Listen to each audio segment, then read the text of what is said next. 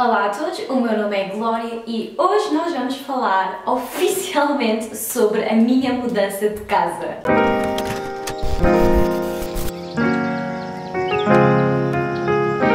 Se vocês seguem no Instagram sabem perfeitamente que isto é oficial, que eu vou oficialmente mudar de casa, já é certo.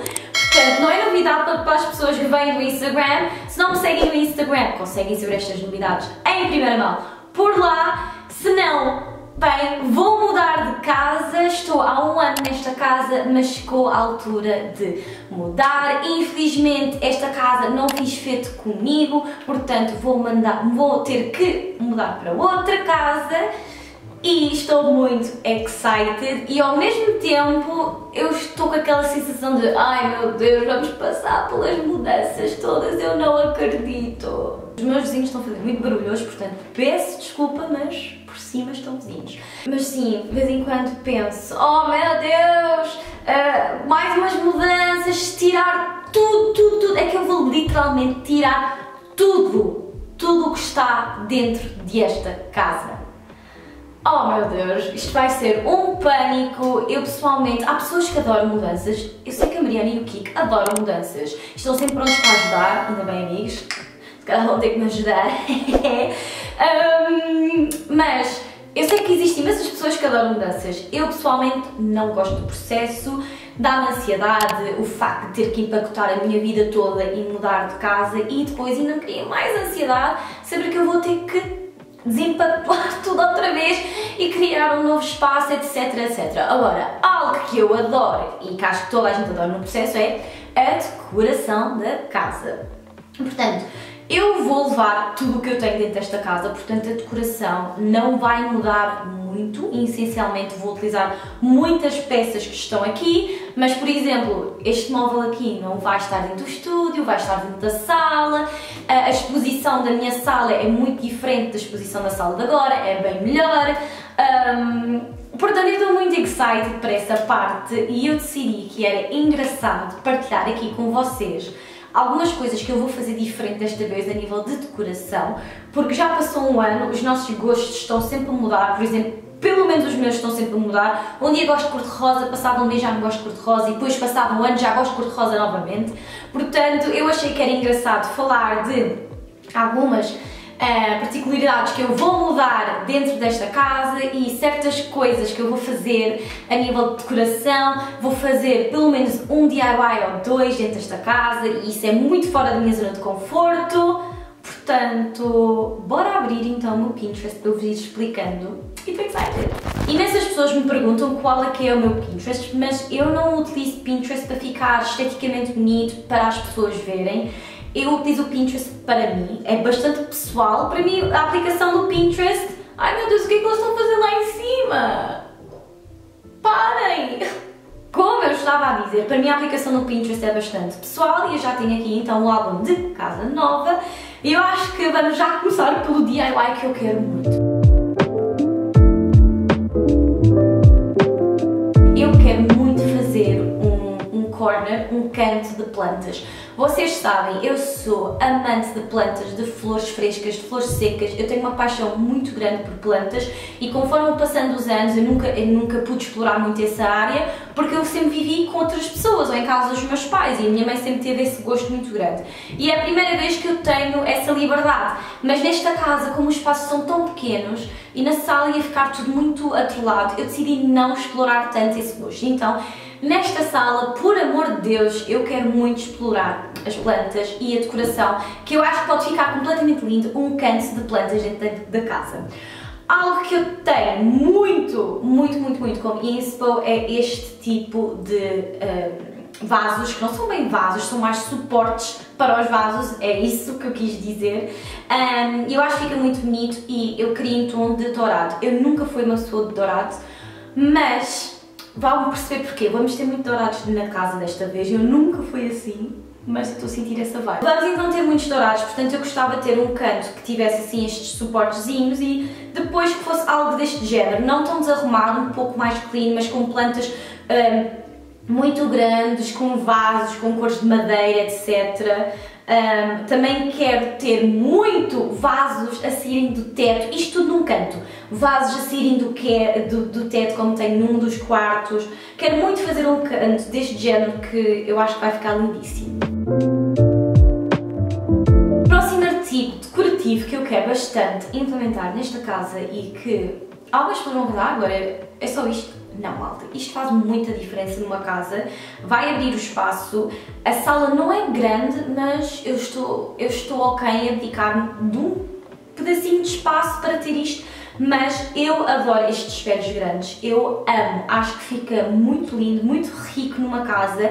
E eu gostava imenso também de incluir dentro da sala este tipo de molduras. Estas aqui que eu estou a mostrar do Pinterest estão muito trabalhadas, mas eu queria algo um pouco mais toned down. E eu tenho um espelho da minha mãe que é literalmente metade do tamanho destes, mas não é tão comprido, é mais horizontal que vai ficar ao pé da mesa de jantar. Já tenho tudo dentro da minha cabeça, malta.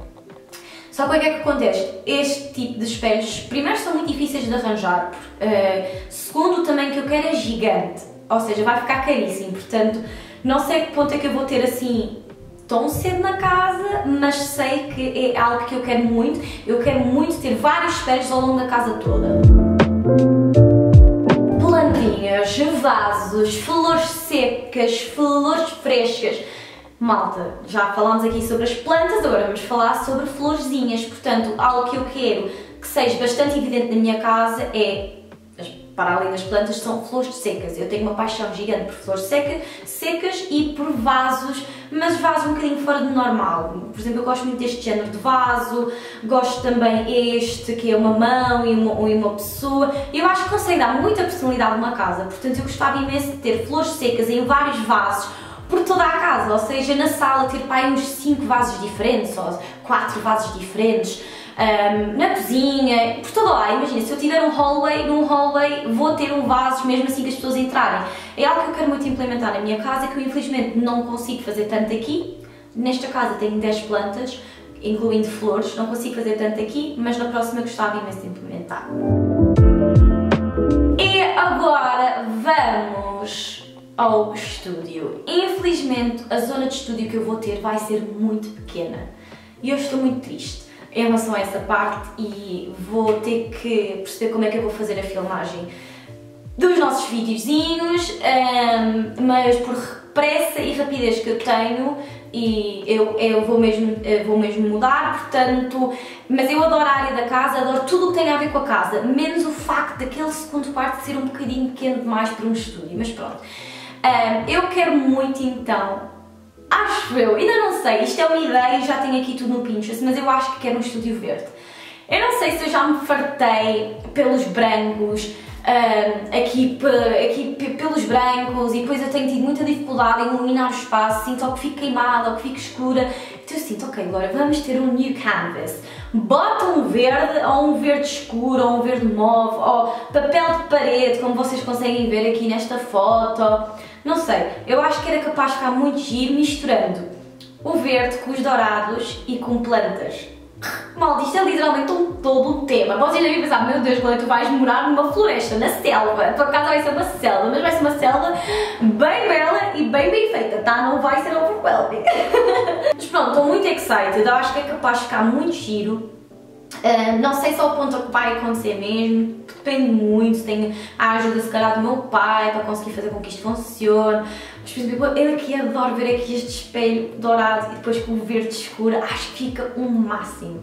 Acho que fica o um máximo, adoro. E pronto, olha, muito sinceramente, foi isto, é isto que eu tenho a, nível de, coisas que eu quero fazer diferente na, na, casa, é evidenciar mais as plantas, os dourados, etc. Pôr as coisinhas um bocadinho mais ao meu gosto, uh, fazer com que se sinta ainda mais homey e acima de tudo, como eu vou filmar pela casa toda, um, vou precisar que cada canto da casa esteja lindo para termos cenários por todo o lado. Isso é muito importante para o meu trabalho, sendo que o meu trabalho é isto, filmar o meu dia-a-dia, -dia, etc. Um, este vídeo foi assim um bocadinho um update, foi dizer-vos que oficialmente vou mesmo mudar de casa. Ah, ainda não disse quando, e eu ainda não tenho a certeza, mas ou vai, ou vai ser no início de Abril, ao final deste mês ou final do mês de Abril. Em princípio, um, é o que eu acho que é capaz de ser a data da minha mudança, ainda estou à espera para perceber.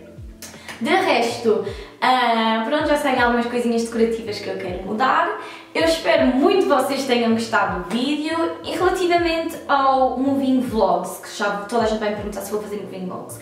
Eu não sei se eu vou fazer Moving Vlogs desde o início. Eu acho que o que eu vou fazer é este tipo de coisas de DIYs, ou seja, as plantas, as flores, um, o estúdio. Eu acho que vou fazer vídeos sobre isso. Agora, Moving Vlogs do processo todo, Acho que não deve fazer, porque acho que é mais do mesmo. Digam-me vocês o que é que vocês acham. Acham que eu devia de, filmar o processo todo do início ao fim ou acham que eu devia me focar apenas em coisas que eu acho mais interessantes, como este projeto das plantas, este projeto do Estúdio Verde, etc. Isso é o que eu gostava de saber da vossa parte. Entretanto, não se esqueçam de me seguir no Instagram, assim vocês já iriam saber desta novidade. Espero muito que vocês tenham gostado do vídeo. Não se esqueçam de colocar um gosto, subscrever o canal e me seguir. um beijinho muito grande e vejo-vos no próximo vídeo. Tchau!